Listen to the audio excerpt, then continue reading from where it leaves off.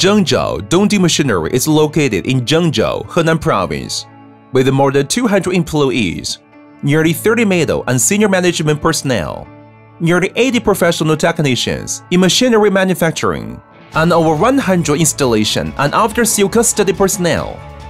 The company has maintained a long-term close cooperation with multiple universities and scientific research institutes, making its comprehensive technical strength at a leading level in the dehydration industry. We are committed to providing high-quality products and excellent after-sale services to our customers throughout the world.